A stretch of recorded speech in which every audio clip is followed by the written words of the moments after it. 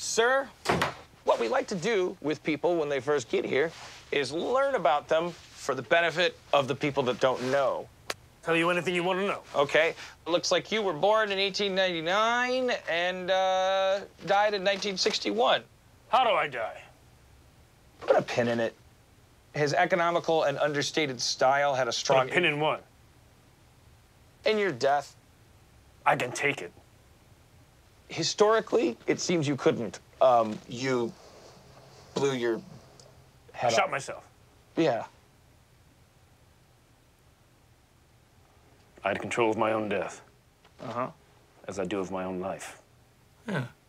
Ernest Hemingway into his own death. Has anyone ever told you you look just like Charlie Chaplin? Oh Chaplin? my God, can you do the waddle? Do the waddle. Do it, do it.